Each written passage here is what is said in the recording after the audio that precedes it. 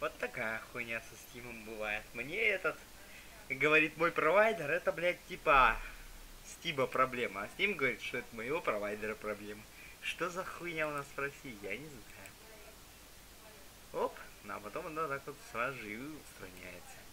Моментально, блядь. Вот. Все появляется.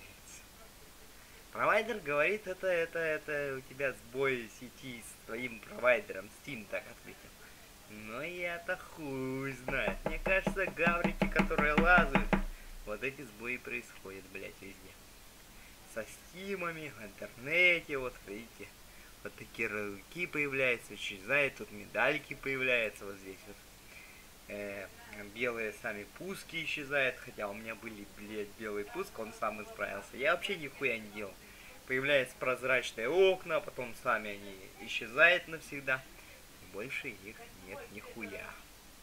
Вот. Еще какие будут проблемы со Steam, я обязательно выложу.